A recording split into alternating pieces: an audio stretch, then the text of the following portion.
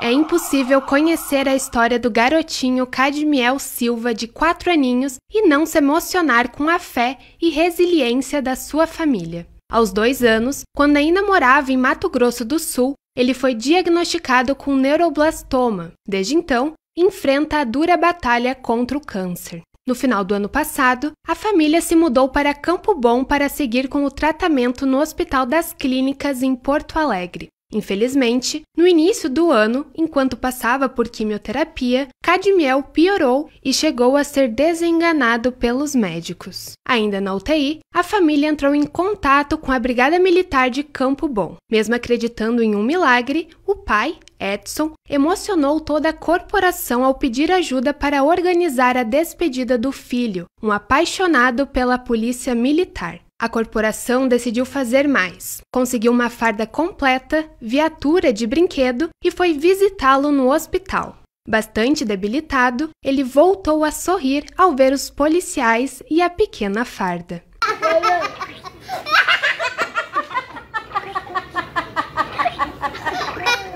A nossa intenção foi conhecer o Cadmiel e proporcionar para ele esse momento de encontro com a instituição que ele ama tanto. E é muito gratificante saber que isso serviu de alguma forma como estímulo para ele para ele seguir lutando contra essa, essa doença, né? Ficamos sabendo que desde então ele não é, ele tem apresentado melhora no seu quadro e isso para nós assim é é melhor que prender 10 delinquentes, sabe? É, é, foi é extremamente gratificante que faltam palavras para explicar que uma simples ação dessas de, de conhecer, de conversar com ele, é, falar com ele, levar uma farda para ele, acabou culminando com, com essa sensível melhora no quadro. A melhora do pequeno herói Cadmiel foi surpreendente. Ele recebeu alta e nesta semana visitou o quartel. Fardado e batendo continência, foi abraçar seus mais novos amigos. Com um sentimento de gratidão, o pai, Edson Silva, fala da fé e força da família. Para a gente tem esperança, a gente podemos desistir.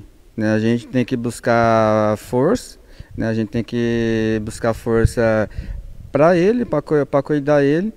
E assim, quando você inicia tipo um tratamento, né, um filho seu inicia um tratamento, que ele está é, praticamente curado, mas você, alguns meses você recebe o diagnóstico que a doença voltou, é uma sensação assim que você vai ter que batalhar novamente.